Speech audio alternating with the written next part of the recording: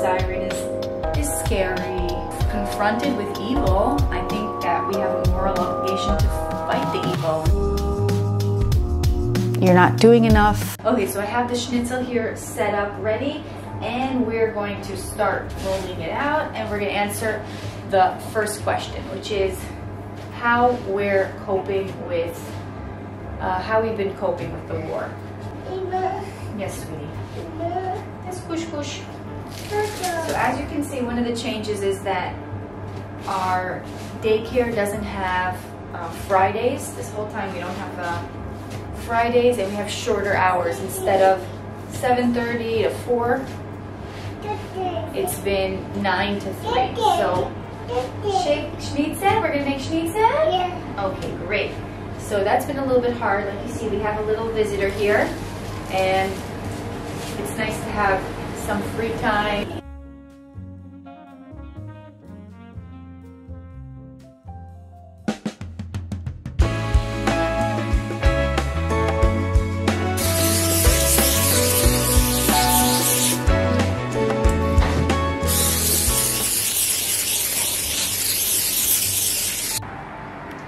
So my husband's sweet potatoes and eggplant is ready. Now I'm gonna put in the schnitzel. Okay, so I have my dough here and I'm ready to start uh, kneading it. I did something that I never did, which is I froze it. I froze it as a chunk. This is about half a kilo.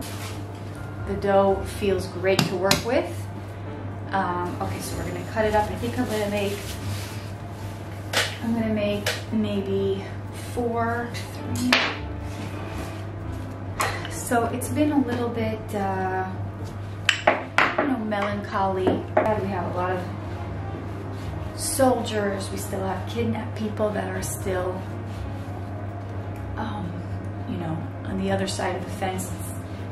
It's so horrible, so terrible to even think about it.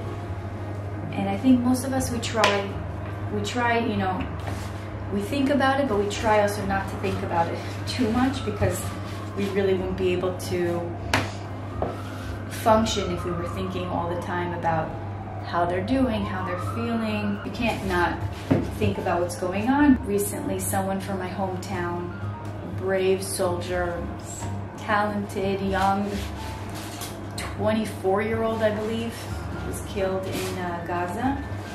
So it's very, very devastating and it's very hard. My husband's not not in the army, he's not in combat. We were both uh, in the intelligence corps, so we don't, uh, uh, he wasn't called up, so we've been home this whole time, we've been working.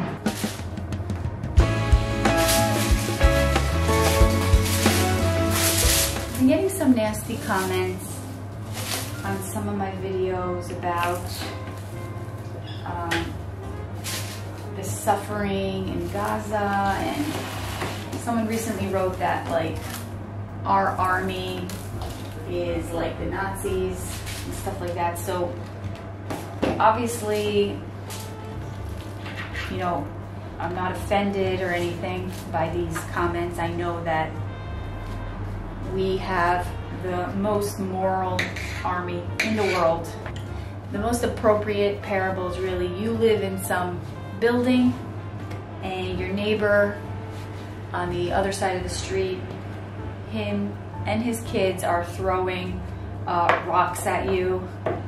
And what would you do? What would you do? And that's something that, you know, it's easy to say, oh, you know, people in Gaza are suffering and, and, and, and the pictures look bad and they're, they're not, you know, humanitarian, they're not doing well, but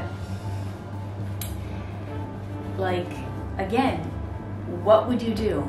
A horrific terrorist Islamic organization whose population is behind it, but also used as a human shield, and they're throwing rocks at your home. What what would you do? So it's not we're not faced with an easy moral situation and I know that if anyone can do it, it's it's us, it's our soldiers. They're so moral and I'm just so so proud of them. my friend asked someone, what would you do if you had a neighbor like that? And he, he said to her, I would move. I would move out of my apartment building. And it's like, it's kind of like what a kid would answer. You know, I would run away, I would go home, I would go to a different country. You know, I'll just run away from the problem. And think that we have a moral obligation here to fight evil, not just to run away or say, you know, we can live elsewhere, which, like, practically speaking, we saw that when we didn't have a state, it wasn't, uh, it wasn't great for us. But even if technically I, I could go and move now to some other country and work and have a good life, like, that's not what life is about. And if you're confronted with evil, I think that we have a moral obligation to fight the evil, not just to run away. So I thought that was funny and to, to think like you just, yeah, you just run away. You just, you let the, you let them get away with what they did and you let their ideologies, their dangerous ideologies thrive. Some people ask me at work, like, how are your kids doing? How are they coping? So for the first few weeks, we moved in with my parents, um, which was a much quieter area. So they didn't have any rockets or sirens, so they it was um, it was pretty calm for them. Then we moved back, now we live in the center of Israel near Tel Aviv. So um, you know, there were a few sirens. Now things got, got a little bit better, but there were a few sirens and it affects them. Even if you're super calm, you know, they know that a siren is, is scary. Also, especially my older son, asks a lot of questions. A lot of questions about the war. A lot of questions. Who's our enemy and why do they hate us? And, you know, who's with us? Is Russia for us? Is is uh, Canada, is the US, and you have to think, okay, wait, who, who is on the, uh, who is on our side in the war and what, what is going on? He, he asks a lot, a lot of questions.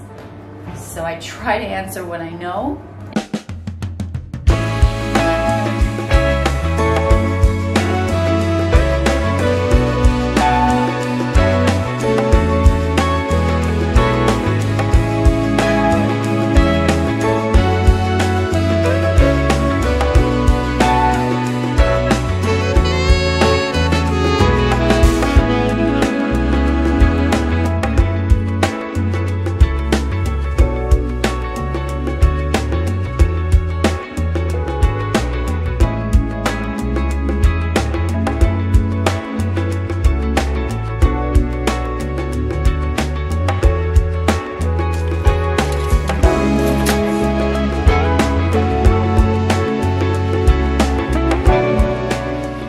when it comes to the war effort, so some of my friends have husbands that are in Gaza, husbands that are away from North, and they're with three, four kids by themselves at home. And what can you even say to someone like that? She's on her own, managing all the household. Like, it, it's so hard to imagine. And what we started doing in our community is giving every Tuesday, giving the families where the husband's away at the war front, giving them a meal.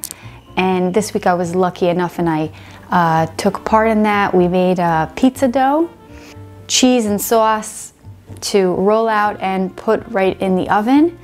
And they were super, super happy. And it really warmed my heart to see how, you know, you can help someone and it could bring joy to their heart and it's really not an easy time for them. Of course there's voices in my head that say, you know, you're not doing enough. Maybe the dough won't be good and you could have done more and you could have added in this and added in that. And I try to shut these voices out and just focus on doing. If I have something, if I have an idea, if I have a way to help someone, just do it. Okay, even if it's not perfect, even if it's you could be doing more, do good when you can do good. Another comment I got is recently I had a parenting video and someone wrote, you can talk about parenting while people in Gaza are suffering. Negative comments really don't bother me.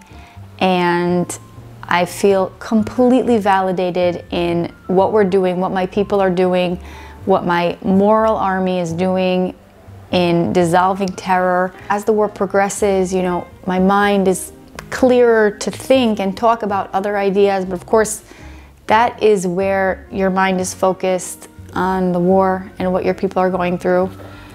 And so it's not really that easy to create content about other topics. But, um, but I do, I want to continue. I want to continue to talk about Israel, Israeli life, Jewish values. So that was a little bit about how the war's going, how we've been doing.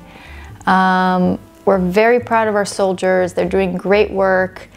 And we're praying for the kidnapped and for the wounded.